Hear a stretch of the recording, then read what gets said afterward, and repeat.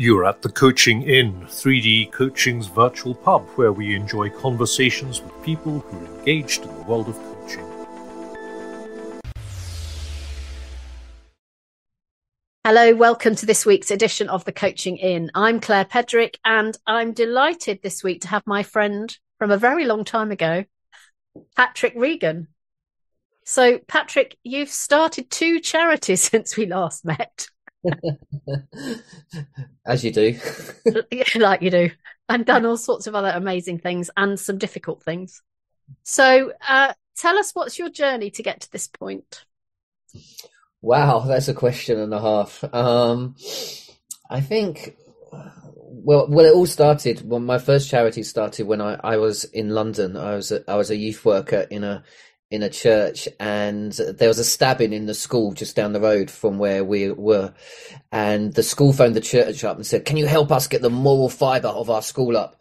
And the vicar didn't really fancy it or, or the pastor or whoever you would call it. So sent me as a local youth worker to see what i could do.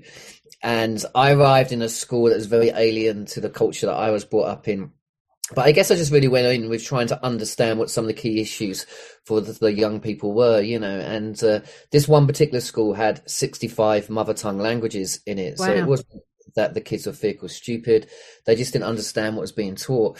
And uh, so we started helping with literacy and numeracy, and and I guess I just some of the issues, you know. Uh, I remember doing an assembly, and a kid came up to me wearing a bulletproof vest underneath his school uniform, and he said. I'll be dead by next week. And I was like, is, is he bragging? Is it just bravado? Um, then six weeks later, he gets stabbed through the the neck at half past three outside the school. So I decided to find 17 people to give me £25 a month, and I started a charity called XLP. Uh, standing for wanting people to excel in everything they do, and P stood for project. And that charity over 22 years grew to quite a large charity, um, working in all sorts of intervention prog- programs, um, access to work programs, mentoring programs, uh, schools programs, arts programs, uh, mobile buses that travel onto estates and off the estates just engaging with thousands of thousands of young people and uh, and you know it was popular claire. It was like you know i was in and out of number 10 doing policy stuff. We had a visit from archbishop desmond tutu. I hope you caught that name as it dropped there. Did? I also saw your picture with him. And uh, you know uh, the prince and uh, prince uh, william and princess catherine came uh, they were the duke and duchess of cambridge then and I think that I was working incredibly hard, and all these photos and all this publicity, you know, all these they go around the world, and uh, and I realised that my my Facebook post looked amazing, but behind the scenes, I was actually really struggling. I was really struggling with anxiety. I was really struggling with my mental health. I had lots of physical health issues. I had to get, you know, go for serious operations on my legs, and and really, I guess that started me on a journey of trying to understand my own mental health, but also you know the mental health of others. And, and then Kintsugi Hope, my my newest charity, came out of that experience. Really. Wow. Yeah, I remember when you were in waiting rooms. We were also in waiting rooms. Do you remember we used to text? Oh yes, with um your husband's with Ellie. Uh, oh well, with all, with everything in our family that fell apart. Yes, yeah. you had a, you had quite a lot going on, didn't you? I remember that now. Yeah, um, and Ellie, I remember now yeah. you say that. Yeah, as did you. Yeah, no, it's a weird thing, isn't it? It's I feel like when you are sick, if you're long term sick in any capacity, and if anyone's listening to this that's been there, your your world suddenly contracts. It becomes quite small, um, and your values constantly get challenged because you start thinking, "Oh, all the stuff I was worried about before, uh, actually now all I care about is if I can get out of bed." you know, yes. and uh, yeah and if I can eat properly, and if I can connect with my friends and my family, and uh, and so I think it's it's an interesting journey. Uh, it's a roller coaster for sure. And now you've got a passion to change the world around mental health. Yeah, when I was in one of my really lowest points, actually, I um I came across this Japanese art form called kintsugi. Um, kintsugi is a Japanese word that means golden joinery. So, if we break pottery or break a plate or cup, we tend to mend it with super glue and we hide the cracks. We pretend it's not broken.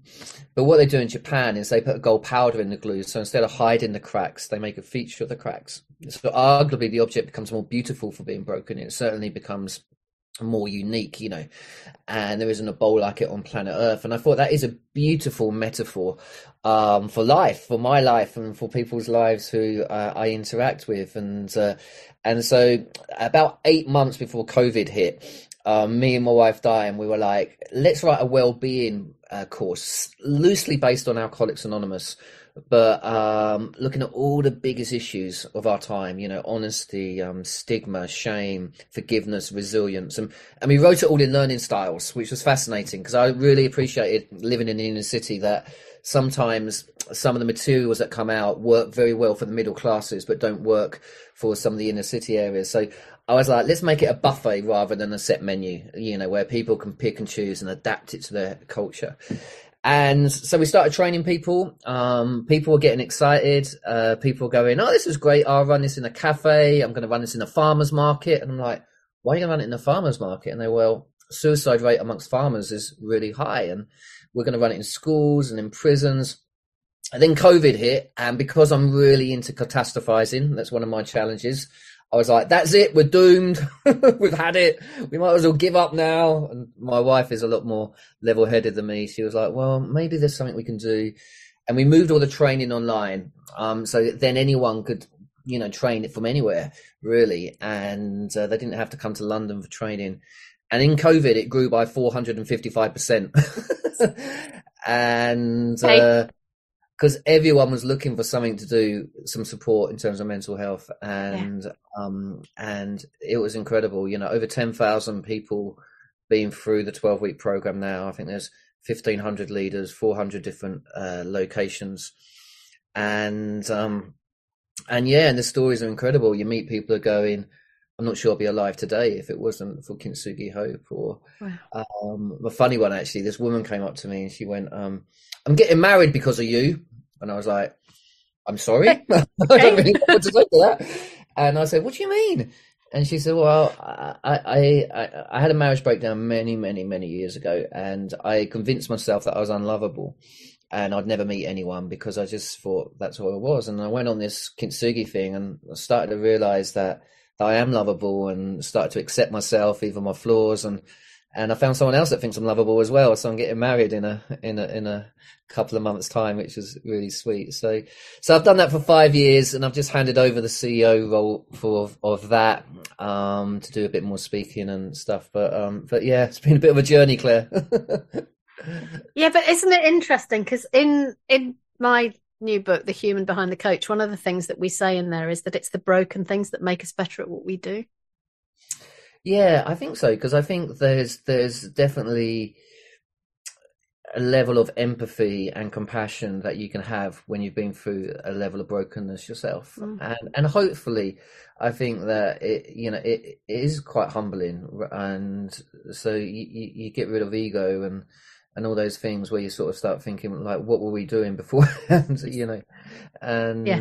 um and and you realize that you can connect with people in a different way so so yeah, I, I, I think so. I think you're right. I think most people that I've spoken to who have been through a really tough time, they're not glad they've been through the tough time, but they also don't want it to be wasted. They want to be able to help others through what they've been through.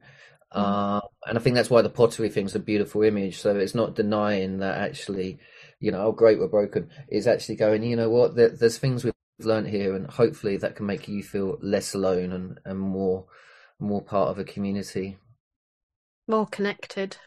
Yeah, yeah, definitely. Because when things are broken, there's nothing worse than than assuming incorrectly that everybody's life is very sorted, right? Yeah, absolutely. And and you know, it's fascinating now because um I um I wrote this book called Brighter Days: Twelve Steps to Strengthen Your Wellbeing, and and so what I do is as part of my time is I go around to businesses and schools, um, doing staff training, local authorities. I'm starting to do some work in, and uh, and also go to prisons and homeless shelters. And and the fascinating thing is like from one end, you know, corporate end to to I was in a maximum security prison a couple of days ago. Um, everyone has a story. Everyone has a backstory, and um, and everyone has a situation. Everyone has loved ones. Everyone has stuff that they deal with, and and I'm always amazed at how more alike we are than unalike, you know. And uh, and I think like when you start being real and honest and authentic, then then that creates an atmosphere where other people feel like they can do that as well. And uh, yeah, and and I often think, you know, for those guys in prison if I was born in a similar context with similar challenges, then maybe that's where I'd be, you know, because um, it's incredibly challenging at times. Yeah. Yeah. So brighter days, new book, everybody. I'll put the, sh- the link in the show notes. Thank you. Thank you. It's so, funny writing brighter days because um, I've written a number of books, as you know, Claire, and um, but with this book, uh, I wrote it completely different to my previous books because when I was going through a really tough time and sort of going through my breakdown, I guess people kept on trying to give me books to read, and my head was just not in that place. Mm. And they were really quite clinical books as well. and I was like, I can't even get through a paragraph, not alone a chapter. So with this book, I decided to write it for me when I was going through a tough place. Oh wow! Um, and so I wrote it with really short stories and illustrations and sometimes there's just a quote on a page you know um, and and it was fascinating. And then the other thing i did which i've never done before is for every chapter on social media i'd ask a question. So i'd ask a question like what does anxiety feel like? And then within literally a couple of hours you'd have like hundreds of answers. Uh, and it was fascinating you know just seeing how people put stuff in everyday language and uh, so I hope it's very raw, very gritty, and hopefully it's got lots of tools that can help people. Because um, that's why you write books in the first place. yeah, so they're useful. Yeah, absolutely. So part of what you've written is about caring too much. Yeah, and and and I think the um, it's a really interesting phrase, caring too much, because I, I remember when I came to the chapter on anxiety, um, I always felt like when you talk about anxiety, it's often talked about in a very negative way, you know, and uh, and I and I get that, and uh, but I, I, came across this definition. I think it's Kirsty Corlin who said that anxiety is often caring too much, which I thought was really interesting. And wow. she said anxiety is often the most caring person in the room. And of course, what she was saying is that if you struggle with anxiety, often you're also capable of incredible empathy and compassion, uh, maybe more so than someone who, who doesn't struggle with anxiety. And um, and anxiety can feel a bit like a car alarm. If it's going off all the time, it's tough. It's tough for you. It's tough for your neighbours. It's tough for everyone else. But actually, it has a function and uh, and so I think for me, I wouldn't say that my anxiety suddenly vanished, but I feel like I have learned to regulate it um, and start to be a bit more self-aware. You know that mm. that what triggers it and what doesn't trigger it, and and what I need to keep myself on an even keel, really. Because I work in a profession where over caring sabotages everything. Yeah. Um, yeah. I love that T.S. Eliot quote teach me to care and not to care, teach me to sit still. Yeah. And, and and you know, Claire, I've been really thinking a lot recently. I've just done some I've just done a course actually with the Centre of Compassionate Leadership. Oh. And some of the research is fascinating because what they're talking about in terms of compassion is the difference between compassion and empathy. Um, um, because they work on different parts of the brain where empathy would work very much on your pain receptors um, and compassion works. Um, it's an action. It's a verb. It, it's something you do. Um, works very much on your reward receptors, and uh, so very very different. And I think for a lot of us who are in those sort of professions or wired a certain way, that that we we have incredible empathy, which is lovely. But if you stay there, you just burn out.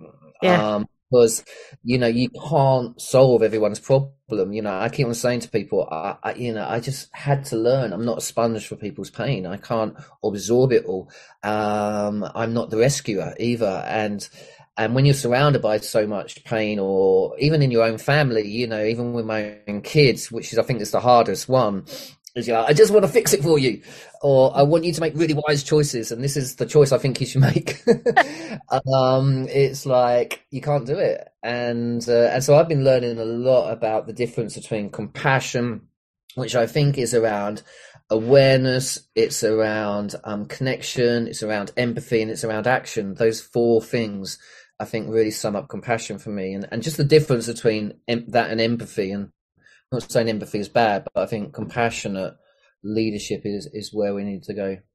Yeah, and I had um, you'd love this book, Patrick. I had uh, Kirsty Papworth uh, on recently talking about the book she's just written about compassionate leadership, which was really extraordinary stuff in there. Mm. I'll send you a link.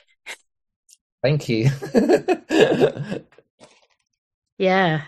So, what about perfectionism then? Because is that connected?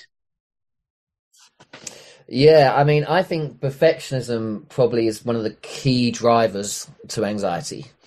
Um, and I think then it, and then anxiety often, you know, drifts into depression if it's not dealt with. Um, but I always describe perfectionism as a moving target you'll never hit.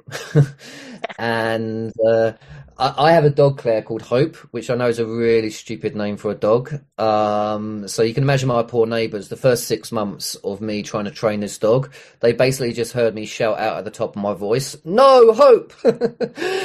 In fact, um, but basically, I used to take Hope for a walk most mornings, and when I take Hope for a walk, she has one thing on her mind, and that is chasing rabbits. And she'll literally get off the lead, and she's boom, she's gone.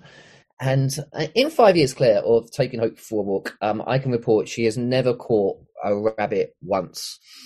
And uh, and I often say to people, I think that's perfectionism. It is like you're trying to get somewhere, you're trying to get something that you're never going to achieve. Yeah. And and of course, you know, um, then your identity and that striving and I am what I accomplish um, comes into it. And and one of the things I talk about in Brighter Days is the difference between trying your best and perfectionism. And uh, which I think, you know, we want to do our best, of course we do. But perfectionism can really, really scupper all sorts of things. And and of course, the funny thing about perfectionism, it can reveal itself in in such different ways for different people. One of the ways it reveals itself in my life is catastrophic thinking. I'm like, I'm totally like all or nothing, you know. Yeah. Um, ever occasionally, most days, me and Diane will have a row, and uh, and I'll be like, "That's it, it's the end of our marriage," and she'll be like, "We've been married for 28 years. Don't be so silly," you know. Um, or you, I, I do this quite a lot when I speak. You know, you, you start mind reading. You're looking at people going I wonder what they think of me, and uh, I wonder if I'm, you know, doing well, and and and then obviously the conclusions you come to are negative because that's of course they are. and then you think, I need to get out of here quick, you know. Um, another way perfectionism reveals itself for me is decision making because I want it right. Uh, I often say to the kids, you know, come down, dad's going to choose a family film, which is code for I'm going to sit there on Netflix for 45 minutes trying to find a film that everyone's going to be happy with, you know, and and in the end, the kid's like, Dad, just choose anything. we don't care anymore. Yeah.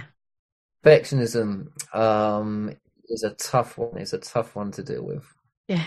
I interviewed Kay Young um, today, who's on another podcast, and she said the change for her was about learning about the difference between enoughness mm. and not being good enough yetness. Slips off the tongue. I had to read that off piece of paper. But isn't that beautiful? Enoughness versus not good enough yetness. Because because that perfectionism says there's a, yeah. we could always be yeah. better, and actually good enough is good enough, isn't it?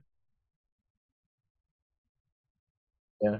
And I think there's a, there's a lot, isn't there, about contentment as well as learning to be content. I think that um, that you're right. It's you know that constant striving to try and be enough, and I think what often drives perfectionism is that that that that shame, you know. And I think like very famously, Brené Brown's done a lot of work on this, but she talks about shame being very toxic, but shame being um, uh, thrives on secrecy silence and judgment and yes. it has to be gremlins you know who do you think you are when you're not enough that's what shame says to us the whole time.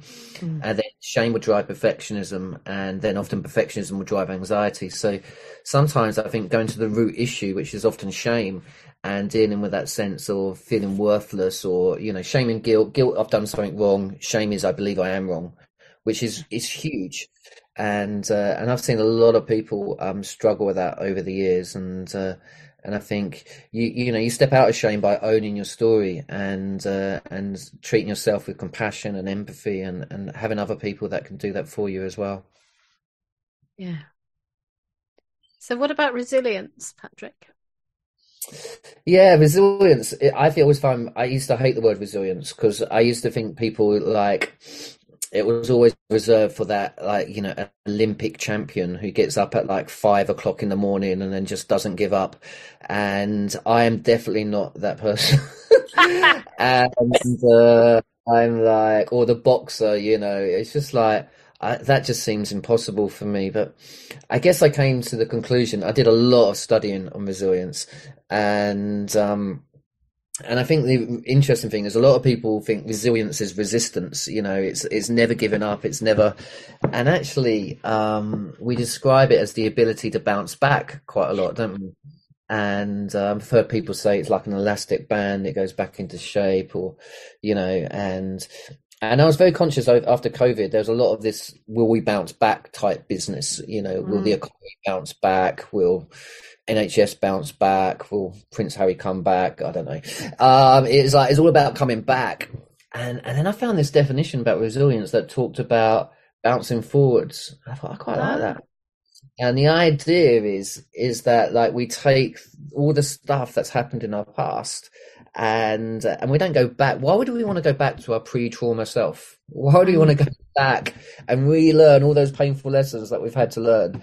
um, surely that resilience is about learning to bounce forwards. It's about that forwards momentum, but um, it's not about bouncing back. And uh, and so I thought that was that was a fascinating thing. And and so I've done a lot around thinking about how do we build our resilience? How do we become more resilient people? Because I think resilience is around thriving in adversity. I don't think it means adversity is going to go. And yeah. and so I think it's learn how do we do that and uh, which is fascinating. Yeah, yeah. When the going gets tough, do we become all or nothing, or do we say actually, what's the best I can do here? That might not be the ideal. Yeah, uh, one of one of the most amazing analogies I came across was by a guy called um, Patrick, Professor Patrick Bertoni. He talked about the resilience river, and um, he said if you imagine everyone's got a river um, and at the bottom of every riverbank, there are boulders. Um, and he said they can symbolize some of the challenges we have in our lives. So anxiety, perfectionism, loss, you know, a lot of people lost stuff. And of course, a lot of self help stuff is all about how do I remove the boulder from the river?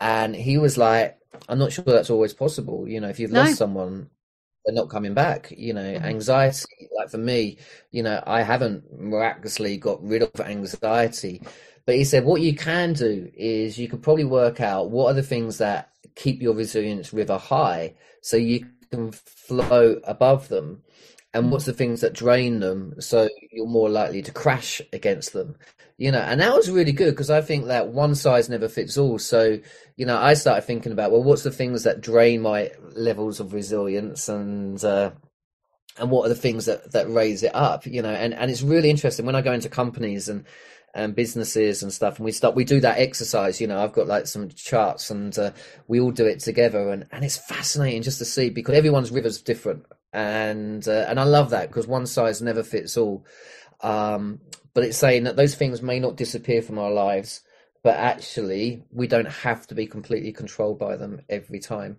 and uh, and i think that's that's a helpful analogy as you're speaking, I'm thinking actually often there's an assumption that the answer to resilience is in me. But with your resilience, thing, you're actually describing that Yeah. the answer to resilience is in the water, which is outside of us. Yeah, yeah.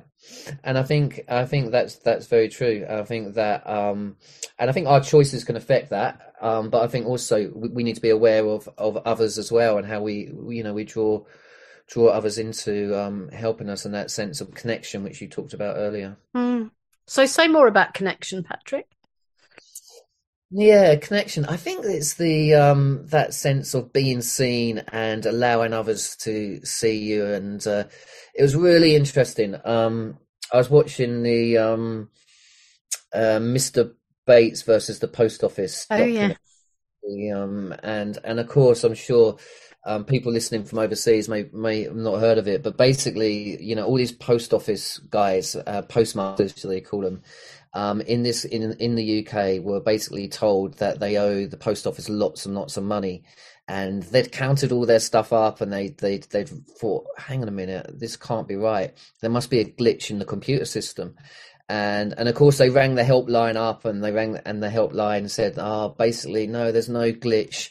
Um, and then says something really interesting. You're the only one that's struggling with this. And I think that was the really interesting piece.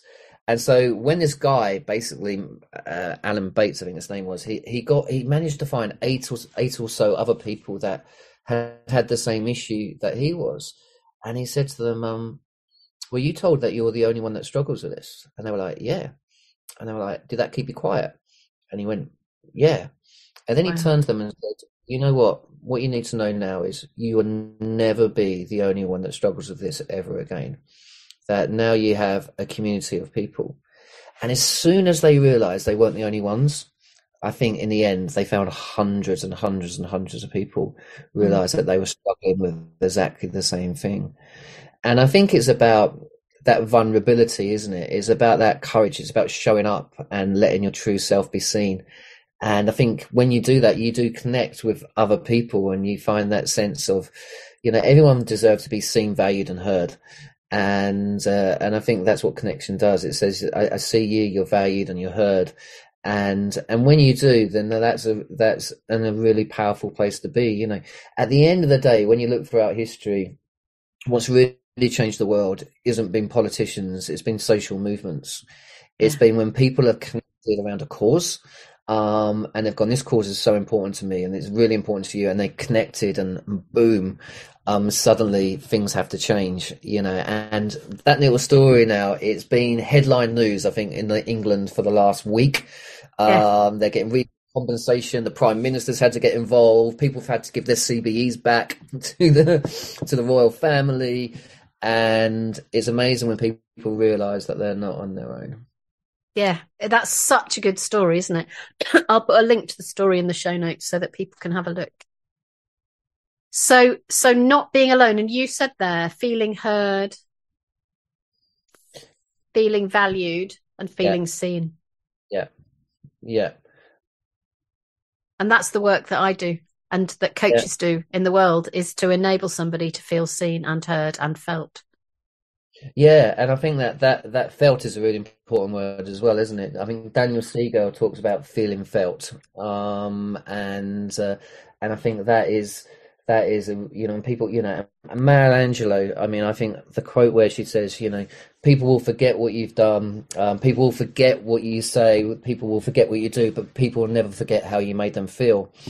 And and I think that's that sense of actually feeling felt, feeling that that connection is is so important, and uh, and that's important in coaching. It, I think it needs to be important in leadership, and it's important in every sphere. And I think the challenge for our society is that we've often put statistics above people, and uh, you know, particularly in education, I, I- I feel it quite strongly that you know we say you're valuable and you're worth something if you get a certain grade.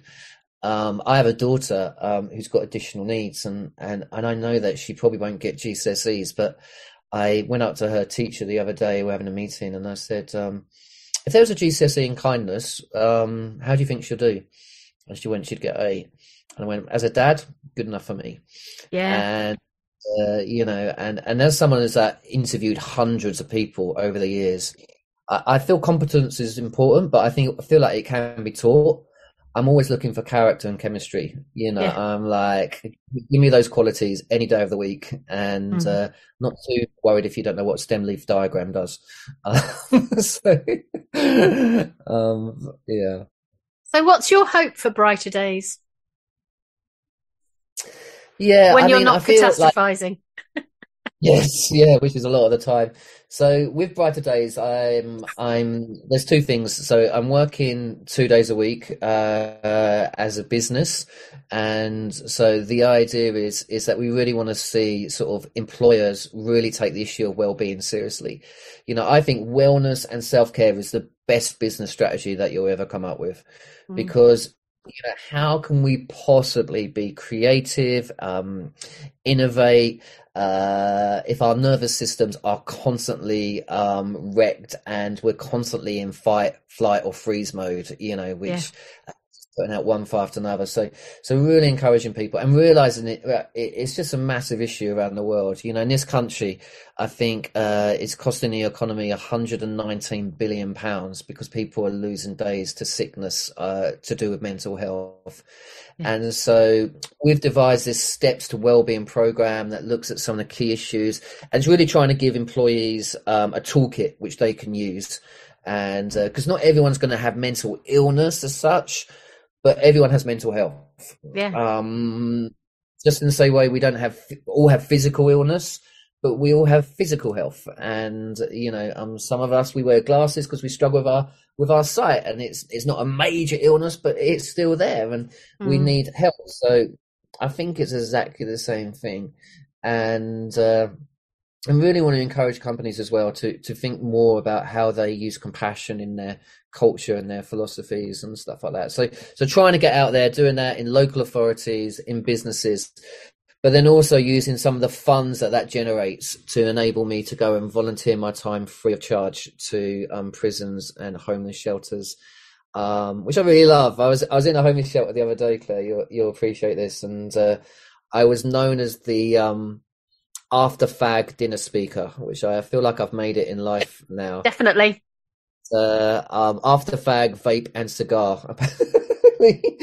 and all these guys, they went out, and and it's funny because I've been doing a business during the day, then I was here during the evening. Uh, well, business a couple of days before, and um, and these two guys, they were after they, I noticed they didn't come back in after their cigarette. They stayed outside, and and this one guy got really agitated that they hadn't respected me by coming back. So he marched out, and I heard a bit of a ruckus. And they came in looking really sheepishly. Um, they they just you know uh, uh, took so much attention of what I was saying, and uh, and I said to him, "What do you say to those guys?" And uh, he said, "Well, I went outside and I told him you better get in there because he's an effing brilliant speaker, and if you don't get in there, there's going to be trouble." so I was going to put that on the back of my new book, um, but uh, my publisher said no. So And your new book is called? sorry, What's your new book called, Patrick? what's my new what? Uh, sorry, you What's your book called? Brighter Days. Brighter Days by Patrick Regan, available from all major online bookstores. And if people want to talk to you about coming into their organisation, Patrick, how do they contact you? Yeah, if you just go to the website, it's www.brighterdays.life, and there's loads of information on there that you can different talks that you can think about, and uh, yeah, you can get in touch with me through the via the website. It'd be amazing. Well, thank you, Patrick Regan, for coming back to the coaching. And let's not make it 20 years before we speak again. No, please, I really appreciate that. Uh, and thank you, everyone, for listening. Bye bye. See you later. If you've enjoyed what you've heard today, we'd love you to share the podcast with a friend or leave a comment on social media. And if you'd like to become a regular at the Coaching Inn, you can subscribe on Podbean and all major podcast channels. We look forward to welcoming you next time. You've been listening to The Coaching Inn, 3D Coaching's virtual pub. For more information, check out 3dcoaching.com.